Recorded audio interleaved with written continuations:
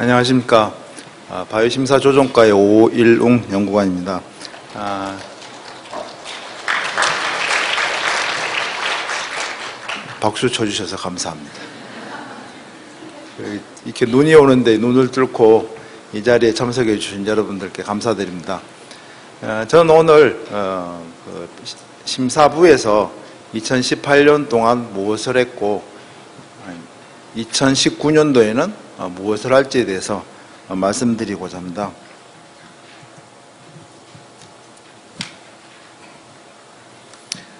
어, 전체적으로 어, 2018년도에 어, 심사과에서 했던 어, 주요 성과 및 실적과 그리고 어, 두 번째로는 19년도에 주요 업무에 대한 정책 방향, 어, 큰 정책 방향에 대해서 말씀드리고 그리고 세 가지 전략인 3번, 4번, 5번의 전략에 대해서 어, 세부 상세한 사항에 대해서 말씀을 드리도록 하겠습니다.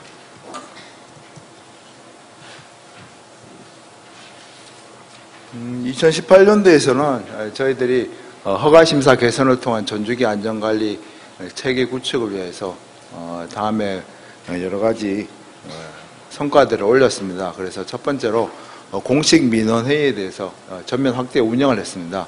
그래서 즉 허가 및 변경 허가에 대한 전체 민원을 대상으로 해서 보완 후 민원회의와 허가 전 민원회의를 만들어서 그 민원회의에서 각각에 대한 보완 사항과 그 다음에 허가 사항에 대한 논의를 시행하였습니다.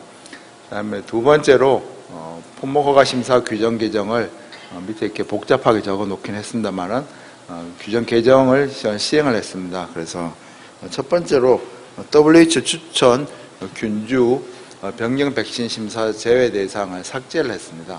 그리고 5조에서 17조까지 원료약품 효능 효과와 용법 용량, 사용상의 주의사항 기재사항을 명확화를 했고요. 그 다음에 제 3조에 조합 제조가 타당한 경우 한 개 품목으로 허가 가능하도록 하였습니다. 그리고 어, 별표 1에서는 어, 저희가 어, 제출 자료 목록 및 요건에서 혈액제조 특성에 맞는 자료 제출 근거를 마련을 했습니다. 그리고 별표 9에 의해서 백신에 대한 위해성 관리 계획에 대해서 장기 및 안전성, 유효성 검증 체계를 마련하도록 하였습니다. 그리고 백신의 효능 효과 및 용법 용량 작성 표준 공고안을 어, 다음과 같이 작성을 하였습니다. 마련하였습니다. 그래서 효능 효과, 용법 용량에 대한 어, 표준 공고안을 마련을 하였고요. 그 다음에 글로벌 규제 조합 및 산업계 맞춤형 가이드라인을 재개정을 하도록 했습니다. 뭐 산업계 맞춤형이라고 저희들은 생각을 하고 있는데 혹시 다르게 생각할지는 모르겠지만 하여튼 저희들은 그런 식으로 이제 가제 가이드라인을 재개정을 했습니다.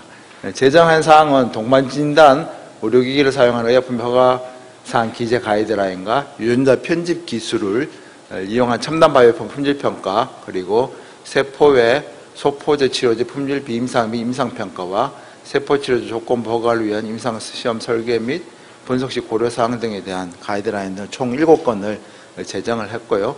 그리고 어, 생물의약품의 제조 방법 변경에 대한 비교평 동성 평가 가이드라인이나 뭐 생물의약품 비임상 시험 그리고 동등 생물의약품 허가 및 심사를 위한 질의응답 등 거기에 대한 6건을 어, 개정을 하였습니다. 그리고 두 번째로 크게 어, 소통을 강화를 했습니다. 소통을 강화해서 저희 나름대로 노력을 많이 했는데 어떻게 만족하실지는 모르겠지만 뭐 저희 나름대로 유튜브도 하고 그다음에 다양한 방법을 통해서 접근하고자 했습니다. 아, 특히 바이오시밀러에 대한 국민들의 이해나 이런 것들이 조금 떨어지는 것으로 판단이 돼서 바이오시밀러 일단 정문, 영문 정보방을 운영을 해서 전문 정보를 제공을 하도록 하였고요. 그 다음에 전광판 홍보나 뭐 카드 뉴스 그리고 뭐 웹드라마 등을 통해서 일반인들이 쉽게 이해할 수 있는 어, 홍보물들을 제공을 하였습니다. 그리고 전문가, 의료 전문가용이나 어, 환자용에 대한 발시밀 안내서를 어, 따로 발간을 하여서 제공을 했습니다. 그리고 백신에 대한 올바른 안전 정보 제공을 위해서 어, 백신의 적정 보관 요령 및 주의사항에 대한 가이드라인이나 그리고 황열 백신이나 콜레라 백신 같은 국가 예방접종 비대상 백신 안전 사용 안내문을 제작하여서 배포를 하였습니다. 그다음에 크게 세 번째로 어, 국제 협력을 통해서 저희들이 기준을 선도하고자 했고 규제 조화를 이루고자 했습니다. 그리고 이를 통해 가지고 우리들이 글로벌 제품을 허가하는 어, 최종 목표를 가지고 어, 노력을 하였습니다.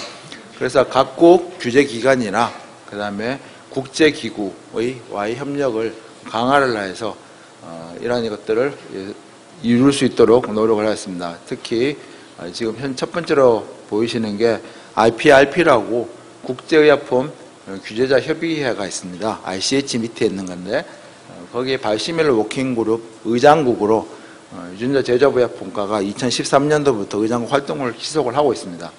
그리고 세포치료제 유전자치료제 한 워킹그룹도 그 세포 유전자치료제과에서 주도적인 활동을 하고 있습니다. 그리고 헬스 캐나다 등과 독일 PI와의 어떤 업무 약정도 국제 협력을 통해서 뭐 장기 파견 연수라든가 그다음에 심사 자료 정보의 공유 등 그런 네트워크를 구축을 하고 활동을 하고 있습니다. 그 다음에 WHO의 바이오약품 표준화를 위한 가이드라인 재개정에 적극적으로 드래프팅 그룹이나 이런 것으로 참여를 하고 있습니다. 그 다음에 WHO PQ는 아까 앞에서 뭐 계속 말씀을 하셨던 것 같은데 어, 국내 개발 백신하고 바이시밀러 제조업체에 대한 저희들은 기술 쪽으로 지원을 강화를 해서 현재 WHO 품질 인증 제품이 2016년도에 20개였던 것이 2018년도에는 23개까지 증가를 하였습니다. 그리고 어, 바이오약품 마중물 사업을 2015년부터 지금 계속 추진을 하고 있습니다. 제품화 촉진과 아, 맞물리는 사업인데요. 어, 전주기 제품 제품화를 지원하고자 노력을 하고 있습니다. 그래서 제재별 맞춤형 협의체를 보시면은 뭐 세포 유전자 치료제 6품목, 제조합 의약품 9품목, 백신 38품목, 혈액 11품목으로 이제 진행을 하고 있고요. 허가 심사에 대한 어, 서- 심사에 관련된 교육도 실시를 하여서 뭐 지금 허가 심사 관련된 이런 교육이 2회 했고 첨나바이오품 3회, 뭐 제조업 신약 개발 지원 2회, 생물학적 제재 1회 정도 하였습니다. 그리고 규제과학 상담의 날 첨단바이오품 쪽에 해당합니다만은 뭐 24회에 139건을 상담하였고 그다음에 R&D 전담 컨설턴트 운영 또한 하여 지금 현재 누적 15과제를 하고 있습니다. 그래서 이런 것들 토대로 현재까지 16개의 품목에 대해서 허가를 완료하였고 39건이 39건이 임상 진입을 하고 있습니다. 그래서 총괄적으로 정리해서 말씀을 드리면 2018년도에 허가사항 및 허가심사 기준 정비에서는 저희가 정비 관리에서는 희귀약품 품질 관리나 그 다음에 그 다음에 원료약품 허가사항, 그 다음에 혈액제제 허가사항 정비나 그 다음에 사람 혈청 알부민의 알루미늄 함량이나 면역글로본의 중화물 부정시험 국내 기준 마련이나 뭐 동반 진단 의료기기를 사용하는 의약품의 허가상 기재 가이드라인 제정 등을 어, 겨- 어, 성과로 거두었고요. 그다음에 가이드라인은 보시는 바와 같이 앞에서 말씀드렸습니다만 저런 가이드라인이 그 최신 국제 기준을 반영하고 그다음에 민원인 안내서를 적시에 우리가 저희가 13건 정도를 재개정을 하였습니다. 주요 허가한 현황을 보시면 국내 개발 바이오약품의 경우는 7품목을 저희가 허가를 하였고 수입 바이오약품 경우는 13품목을 허가했습니다. 그래서 인플루엔자 백신 쪽으로 어, 두 품목을 허가했고 어, 수두 생바이러스 백신 한 품목, 그다음에 항파상 파상풍 사람 면역 글로불린 품목 한 품목, 그다음에 바이오 시밀러 세 품목을 허가했습니다. 그리고 수입 바이오 약품으로는 어, 신약 품목 허가로 뭐 듀피젠트 prefilled syringe 등 네 품목을 허가했으며 희귀약품으로는 한 품목, 바이오시밀러도 한 품목, 그다음에 자료 제출약품 등 기타 품목 허가가 일곱 품목으로 총 13개 품목을 허가를 하였습니다. 이상이 저희 심사부 쪽에서 2018년도에 거둔 어, 주요 성과입니다. 그래서 지금부터는 2019년도에 주요 무 추진 방향에 대해서 말씀드리도록 하겠습니다.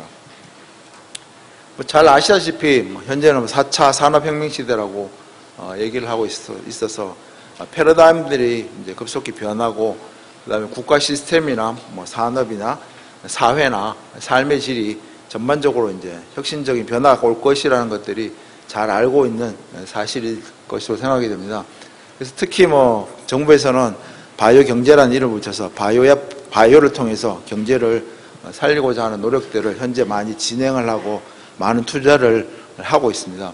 그 중에서 특히 이제 바이오의약품 쪽은 어, 의약품 쪽에 비해서 훨씬 더 어, 차지하는 비중이 전체적으로 점점점 어, 높아지고 있고 또한 그 중에서도 어, 바이시밀러 시대가 이제 거의 뭐 도래를 해서 많은 사람들이 이 바이시밀러를 어, 사용하기를 원하고 국가 재정에서도 뭐 보탬이 되는 것으로 어, 현장 파악이 되고 있습니다. 그래서 이러한 시대를 맞이해서 저희들이 아, 심사부에서 어떻게 대처를 하고 나갈 것인가에 대해서 어, 말씀을 드리도록 하겠습니다.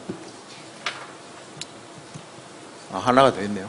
그래서 첨단 신기술 기반 바이오 신약 개발 또한 가속화가 되고 있습니다. 뭐 아시다시피 뭐 카티스템이나 뭐 인보사 처음으로 나온 유전자 치료제가 그다음에 인공기 뭐 미니뇌나 바이오 인간 간등 인공 간등 이런 것들이 이제 점점 만들어지고 있고 그다음에 유전자 에디팅이라든가 그다음에 요즘 최근에 어, 그 허가가 나가는 카티셀 같은 경우가 최, 최신의 각광받는 최첨, 최첨단 신기술을 기반한 의약품이라고 볼 수가 있습니다.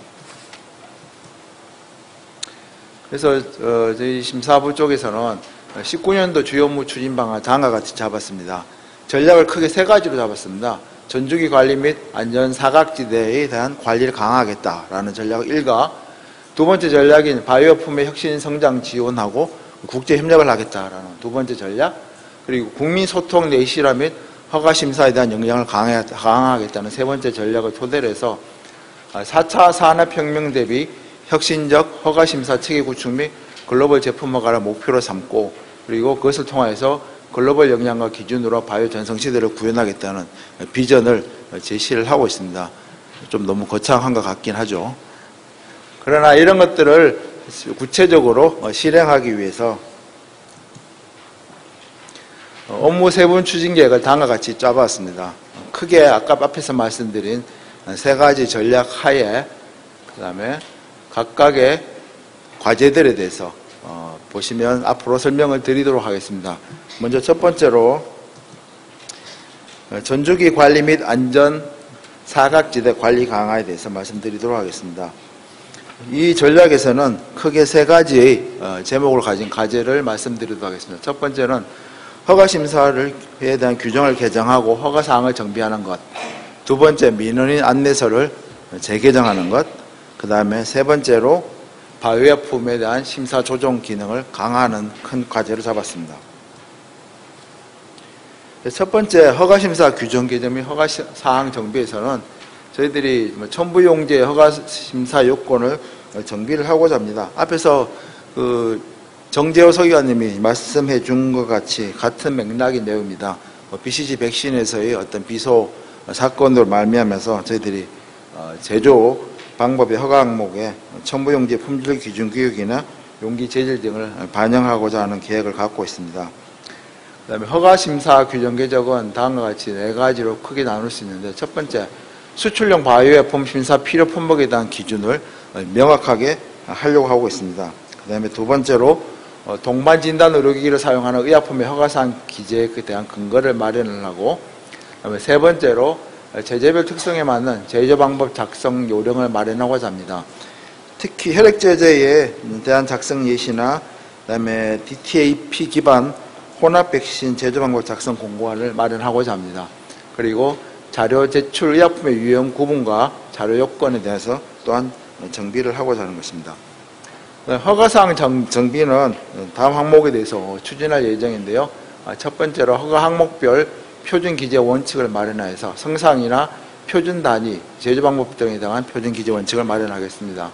그리고 바이오시밀러나 스탠드 언론 품목 등에 대한 유전자 제조합 의약품의 주성분 명명법 원칙에 대해서 어, 다시 마련하도록 하겠습니다. 그리고 어, 혈액 성분 제제 중에서 혈장 성분군, 즉 동경, 어, 동결 혈장 등 76 품목에 대한 정비안을 마련하도록 하겠습니다. 민원인 안내서 재개정은 어, 다음과 같습니다. 뭐 복잡해서 어, 일단은 예를 들어서 뭐 비임상 시험 고려사항이나 아, 바이오시밀러 개발 및 평가 시 면역 원성 비교 동성 평가 등의 항목이 들어가 있는 재조합 제품의 면역원성 평가에 관한 가이드라인을 개정을 하도록 하고요. 그 다음에 요즘 그 핫 이슈인 real world data 대한 활용 사례를 정리를 해서 어, 활용 사례집을 마련을 하고자 합니다. 이번에는 백신에 대한 것입니다. 그리고 어, 생물의약품 제조 방법 변경에 대한 비교동등성 평가 가이드라인이 어, 개정이 돼 있었었는데요. 어, 올해는 어, 세포 유전자 치료제 부분이 추가가 되고 그 다음에 유전자 제조부 제품의 제조 방법 상세 기재한 내용이 아마 개정될 것으로 어, 계획을 잡고 있습니다. 그다음에 폴리오 백신 가이드라인 품질 평가 관련 사항 검토를 관련 사항을 반영을 해서 WHO입니다. WHO 가이드라인 반영을 해서 폴리오 백신 품질 평가 가이드라인을 제정을 하려고 합니다. 그다음에 어, 보툴리움 독소 제제에 대한 가이드라인을 마련을 하고요. 그다음에 면역 항암제의 임상 시험 가이드라인 안을 이제 저희들이 마련하고자 합니다. 이때는 저희들이 면역 항암제 개발 및 허가 증가에 따라서 신속 허가 지원을 위한 임상 시험 평가식 고려 사항을 포함시키고자 합니다. 그리고 마지막으로는 어, 저기 세포 치료제 품질 관리 시험 항목 설정에 대한 가이드라인을 개정하고자 합니다. 그럼 세 번째로 심사 조정 기능에 대한 어, 강화에 대해서 말씀을 드리고자 하겠습니다. 일단 첫 번째로 정기 심사 조정 회의를 어, 운영을 해가지고 이 사항에서 이 회의를 통해서 뭐 이슈를 공유하고 어, 특임 민원이나 그다음에 허가 심사 사례 논의 등 이런 것들에 대한 논의를 통해 가지고 그 또한 진행 사항들을 공, 어, 공유를 해가지고 이러한 어떤 그 효율적인 어, 그 회의를 만들고자 합니다. 그리고 두 번째로 예비 심사 기능 강화 방안을 어, 마련하고자 합니다. 그래서 예비 심사 제도에 대한 운영 운영 현황 분석이나 개선 방안을 검토를 하고 그다음 여기에 대한 실질적인 개선 방안을 마련을 해서 어, 시범 운영토록 하겠습니다. 그리고 임상 시험 사전 미팅 이제 pre-IND meeting을 시범 운영하도록 하겠습니다. 대상은 최초 임상 진입 품목을 대상으로 하고 그 다음에 임상 시험 계획 신청 전에 개발 경위나 임상 시험 실시 계획이나 자료 제출 요건 등에 대한 집중 상담을 하는 내용으로 하여 향후 이 pre-IND meeting이 제도적으로 도입이 될지에 대한 것에 대해서 어, 검토를 하도록 하겠습니다. 그 다음에 두 번째 전략인 아, 바이오약품 혁신 성장 지원 및 국제 협력에 대해서 어, 말씀드리도록 하겠습니다. 어, 바이오약품 혁신 성장 지원 및 국제 협력은 크게 다섯 가지의 과제로 저희들이 나누어 보았습니다. 첫 번째, 어, 첨단 바이오약품 맞춤형 허가 심사 체계를 구축을 하고 두 번째, 인공지능, 빅데이터 등 기반 혁신적 허가 심사 방안을 마련하는 것으로 하였고 세 번째, 혁신 제품 기술 지원 협의체를 활성화하는 것으로 하였습니다. 그리고 네 번째, 차세대 마중물 사업물, 사업을 계속 추진하고요. 다섯 번째, 전략적인 국제 협력으로 규제 역량을 선진하고자 합니다. 어, 첫 번째로 어, 첨단 바이오약품 맞춤형 허가 심사 체계를 어, 다음과 같이 구축하도록 하겠습니다. 어, 첨단 바이오약품 신속 처리 제도 세부 절차를 어, 마련을 하고자 합니다. 그래서 신속 처리 대상 지정 신청, 서리, 세부 절차 및 인정 기준을 마련을 하고요. 그다음에 맞춤형 심사 자료의 종류나 뭐 제출 일정, 그다음에 이런 것들에 대해서 맞춤형 심사 세부 절차를 어, 마련을 하고자 합니다. 그리고 법령 제정이나 뭐잘 아시다시피 첨단 바이오품 법률이 제정되는 것과 시행 시기를 맞추어서 하위 법령 정비안을 마련하고자 합니다. 두 번째로 조건부 허가 운영 지침 마련에 있어서는 조건부 허가 시 어떤 임상적 어, 평가 변수 선정 기준을 마련을 하고요. 죄송합니다. 그다음에 조건부 임상 자료 제출 기한 설정 기준이나 그다음에 대상 의료기관 선정 기준도 조건부 허가 시에 표준 허가 조건 부여 방안을 마련하도록 하겠습니다. 그다음에 4차 산업혁명 시대에 맞춰가지고 이 심사도 인공지능이나 빅데이터 등을 기반으로 하는 어, 혁신적 허가 심사 방안을 마련하고자 합니다. 일단 허가 허가 심사 아니, 심사 체계에다가 저희들이 인공지능을 활용하는 기반을 마련하고자 하는 것을 어, 생각을 하고 있습니다. 그래서 인공지능 활용 가능한 세부 분야를 발굴을 하고 허가 심사 자료의 특성을 도출해서 표준화하고자 합니다. 어, 두 번째, 어, 블록체인 등 뭐 신기술 기반 개인 맞춤형 허가 심사 적용 기반을 마련하고자 합니다.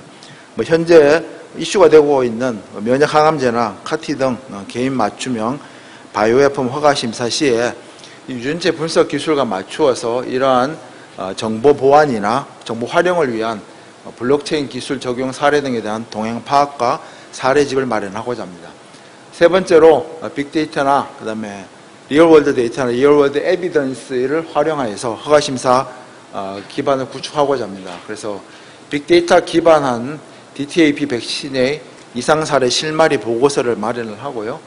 그리고 바이오약품 real world data나 evidence 허가 적용 현황 파악을 하고 거기에 대한 사례집을 어, 마련을 해서 나중에 이것이 직접적으로 허가나 심사에 어떻게 활용될 것인가에 대한 기반을 마련하고자 합니다.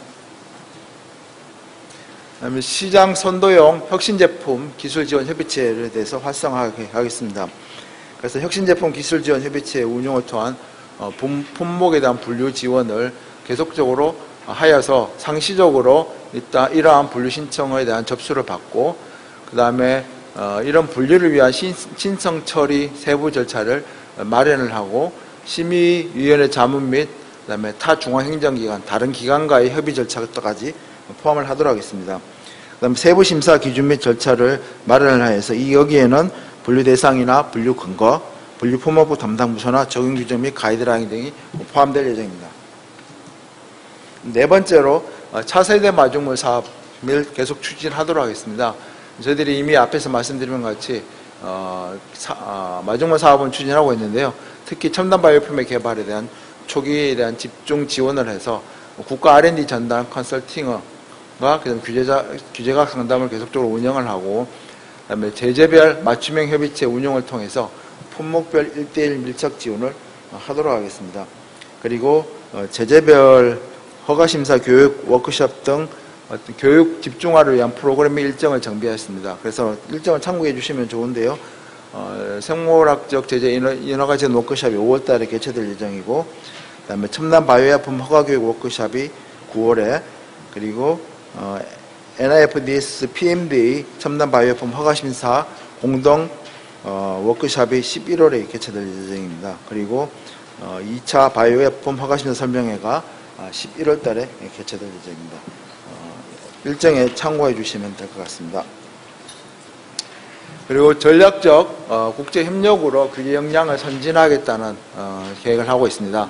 그래서 첫 번째로는 뭐 지금까지 계속 하고 있습니다만은 그런 협력들을 더 강화하고자 합니다. 그래서 WHO하고는 바이오품 분야 협력을 강화해서 특히 서태평양 지역의 국가 규제 강화를 위한 협력 방안 및 발전 방안을 어, 논의를 하고자 합니다. 그리고 WHO 가이드라인 재개정 어, 및 이행 워크숍 등에 참여를 하고 그다음에 헬스 캐나다와의 허가심사 이슈 논의 기반을 마련을 하고 독일 PEI와는 뭐 심사자 역량 강화나 정보 공유를 통해서 네트워크를 강화를 하고자 합니다. 또 PMDA하고는 어, 지금 11월 달에 NIFDS PMDA 첨단 바이오품 허가심사 공동 워크숍을 개최하고 있는데 특히 여기서는 이 혁신 제품이는 혁신 제품인 IPS와 카티 등에 대한 어, 심사 전략에 대한 방안이 공유될 예정입니다. 그리고 바이오시밀러에 대한 리더, 그 글로벌 리더십을 계속 공고할 예정인데 지금 2기 의장국 활동을 하고 있습니다. 하고 있고 그리고 특히 올해는 바이오시밀러 어, 비임상 평가 교육 매뉴얼을 마련을 하여서 이 매뉴얼이 심사자들에게 다 활- 활용되도록 하겠습니다. 그리고 어, 바이오시밀러 공, 80 양식으로 영문 심사 결과를 공개하고 그다음에 WHO PQ 바이오시밀러 규제 개선 및 공급 프로그램에 참여하도록 하겠습니다.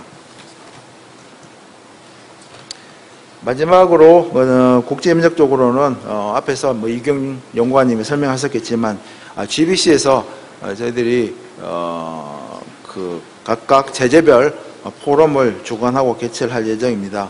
어, 제재별 포럼은 어, 백신이나 제조합, 세포윤적 치료제 그리고 이번에 또 그 이노베이션 테크닉이라고 해서 혁신 기술에 관한 내용들이 포함돼서 어, 저희들이 차- 참석을 하고 여기다 주관하고 개최할 예정입니다. 그리고 국내 개발 백신 WHO 품질 인증을 위한 기술 지원이 계속적으로 지속될 예정입니다. 마지막 전략인 국민소통 내실화 및 허가심사 역량 강화에 대해서 말씀드리도록 하겠습니다. 여기는 여기도 크게 다섯 가지로 어, 말씀을 드리는데요. 소비자 맞춤형 안전 사용 정보 제공과 두 번째로 현장 중심의 다채널 소통 교육, 세 번째로 소통 방식, 개선을 통한 민원 불만 제로를 추진하고 네 번째 허가심사 정책 연계성 및 일관성 강화와 다섯 번째로 심사자 역량 강화 프로그램 운용을 하겠습니다. 어, 첫 번째, 두 번째, 세 번째는 어, 대민, 뭐 대, 어, 이쪽 그 과제들이고요. 네 번째, 다섯 번째는 주로 내부적인 어, 과제로 보시면 됩니다. 어, 첫 번째로 소비자 맞춤형 안전사용 정보 제공입니다. 그래서 저희들이 어, 생활 밀착형인 바이오품의 안전사용 정보를 제공을 하겠습니다. 그래서 일단 보투리눔 어, 독소 제조에 대한 안전 사용에 대한 홍보를 할 것이고 그 다음에 BCG 백신이나 어, 겨울철 대비 성인 접종 권장 백신 인플루엔자나 대상 포진이나 폐렴 구균에 대한 안전 사용 정보에 대해서 홍보를 하고자 합니다. 그리고 마지막으로 만성 질환자를 위한 어, 자가 투여 주사제에 대한 안전 사용에 대해서 홍보를 하고자 합니다. 네, 바이오시밀러의 인식도 개선 및 안정 사용을 위해서 위한 홍보를 통해 하려고 하는데 또 어, 개편으로 어, 개편적인 방법을 하고자 합니다. 그래서 안내서를 기반으로 해서 이미 앞에서 말씀드린 것 같이 전문가용 안내서, 환경 안내서가 있습니다만은 그거를 그래픽, 영상 등 멀티 콘텐츠를 개발하고 그걸 통해서 홍보를 하고자 하고 그다음 정보방 개편으로 효율적인 정보 제공을 어, 하고자 합니다. 그다음에 현장 중심의 다채널 소통 및 교육에서는 어, 정기적인 허가 심사 어, 설명회와 어, 교육을 개최를 하고자 합니다. 앞에 앞에서 말씀드린 교육이나 허가 심사 설명하고 겹치는 부분이라서 어, 좀 넘어가고요. 그다음에 상간 소통 채널 어, 운영을 활성화하고자 합니다. 즉, 뭐 지, 금 앞에 5회도 어, 예정이 되어 있는 어, 산업발전 발전 전략기획단에 대한 제재별 분과 운영을 계속적으로 지속합니다. 그 다음에 특별할 것이 이제 항암제 신사 자문단을 운영을 하는 것이 이제 새롭게 들어갔는데요.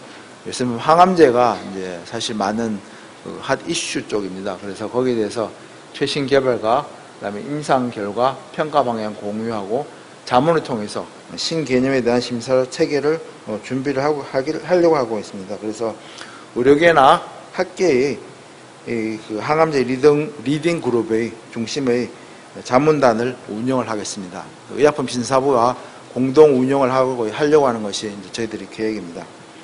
그다음에 세포주 분양 활성화를 위한 찾아가는 상담 서비스를 제공하고자 합니다. 그래서 백신 개발 초기에 인허가의 질응답이나 분양 세포주에 대한 필요 정보 등에 대해서 하고 이런 이런 것들을 통해 가지고 세포주별 특성 분석 및 유지 분석 결과서나 그 다음에 이런 분석 등을 포함하는 세포주 제품 설명서와 첨부 문서들을 이제 제작을 하고자 하는 계획을 가지고 있습니다. 세 번째로 소통 방식 개선을 통해서 민원 불만 제로를 추진하고자 합니다. 뭐 우리가 아무리 해도 민원 불만이 오는 날은 별로 없을 것 같긴 한데요. 그래서 저희들이 목표이긴 합니다. 그래서 부서장 한 라인을 개통하고자 합니다. 개통했습니다. 이제 했는데 이 부서장 한 라인은 아, 바이오생약심사 부장님과 그 다음에 바이오심사 조정과장님만 볼 수 있는 메일입니다. 다른 분들은 못 보는 메일이니까 여러분들이 심사를 하는데 애로사항이나 이견이 있거나 뭐 아무래도 말을 안 들어준다. 뭐 꽉 막혀서 안 통한다. 이런 것이 있으면 이 부소장님들의 메일에 직접 보내시면 직접 소통이 가능한 체계입니다. 그래서 절대적으로 이분들 외에는 볼 수 없으니까 안심하시고 메일을 보내셔도 됩니다. 민원 상담 대상이나 절차 정비를 통한 심사 집중도를 어, 개선을 하도록 하겠습니다. 그래서 뭐 어, 여기서는 저희들이 뭐 공식 민원 회의 등에 대해서 어, 활성화하는 방안을 또 한 가지 이제 제시를 했는데요. 이 공식적 소통 채널을 통해 가지고 어, 공식 민원 회의로 어, 일어나를 하고자 합니다. 그래서 이렇게 막 그 중구난방으로 메일이나 그 다음에 아니면 전화로 어, 이슈를 얘기하다 보면 또 어, 말이 또 달라질 때도 있고 또 여러 가지 그 또 심사자가 바뀌어 가지고 또 애로사항을 겪는 경우들이 많이 있으니 아예 그냥 공식 채널을 만들어서 거기서 여러 명이 같이 가서 같이 얘기를 듣고 서로 서로 자기들 얘기를 자기 의견과 그것을 나누어서 어, 결정하는 방, 법으로 어, 바꾸고자 합니다. 그래서 어, 이러한 해소를 위해서 허가심사 부서 및 업계 관련자 다수 참석을 하는 회의를 운영을 하고자 합니다. 그래야지 뭐 하, 한국말도 두 사람이 있으면 한 사람은 이렇게 듣고 한 사람은 저렇게 듣는 경우도 있잖아요. 여러 사람이 이제 같이 들어서 어, 공통된 의견을 정확하게 남기려고 하는 것이 저희들이 하고자 하는 어, 방식입니다. 그리고 심사 일정에 대해서 어, 저희들이 어, 관리를 하고자 합니다. 제일 불만이 많으신 사항들이 일정인데요. 그래서 이제 그 일정들이 좀 제대로 규정에 맞게 지켜지고자 하는 어, 그런 일정 관리를 강화를 하겠습니다.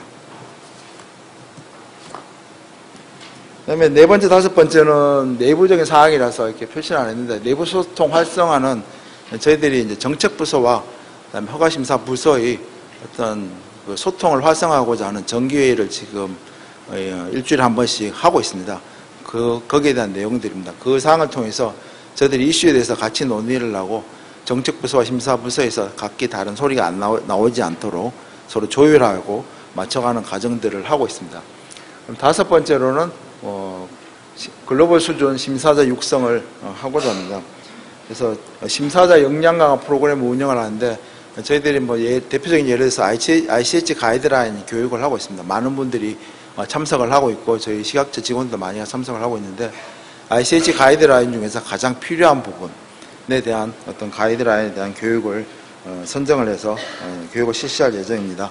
그리고 평가원 전문 역량 강화 교육 개선 방안에 따른 개인별 교육 체계가 있는데 이것은 무엇이냐면은 각 심사자들이 어, 교육을 자기 원하 하고 싶은 대로 이제 이런 것도 받고 저런 것도 받고 하다 보니까 이렇게 어떤 일관성이 없어서 평가원 내에서 심사자들에 대한 교육 프로그램을 단일화하는 어, 프로그램을 운영을 했습니다. 마, 마련을 했고 그 프로그램을 통해서 내가 어떤 교육을 받아야 되고 내가 어떤 교육을 해야 되고 그리고 어떤 점수까지 도달해야 된다라는 그런 것들이 기준이 삼아 있는 어, 것들이 평가 내부적으로 만드는 프로그램이 있습니다. 그 프로그램 운영을 통해서 심사자 역량을 어, 강화를 하려고 합니다. 어, 제가 말씀드린 내용은 여기까지고 지금부터는 남경탁 연구관님께서 허가심사 민원 설명회 결과 공유에 대해서 말씀, 아유, 제가 사회자 진행 본능이 아직 남아 있어가지고요. 죄송합니다.